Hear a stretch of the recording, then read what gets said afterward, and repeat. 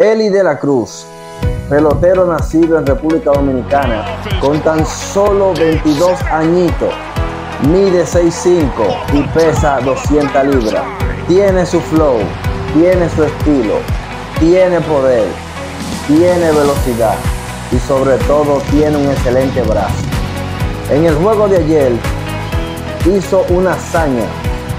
Abrió con un cuadrangular a lo profundo por todo el center field y luego dio una línea que el center field no la pudo parar y adivinen qué, el correcamino en su buen.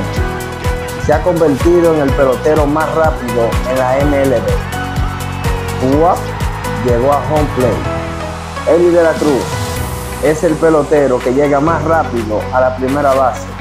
Esa hazaña él la hace llegando a 2.9 segundos a la primera base. Se ha convertido en uno de los mejores peloteros. Este es